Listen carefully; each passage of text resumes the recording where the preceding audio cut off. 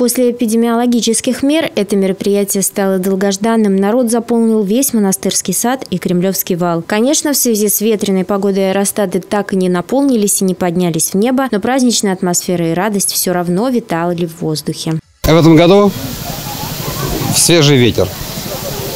Свежий ветер. Сегодня мы летали, скорость ветра была 40 км в час. А вот. Слава богу, у нас э, хорошая большая летная зона по югам. В общем, мы можем позволить себе часовой полет при любой скорости. Это будет красной нитью идти через э, сквозь все соревнования. Погода не помешает проведению спортивной части фестиваля. Это Кубок России. Это рейтинговое мероприятие, которое внесено в единый календарный план соревнований.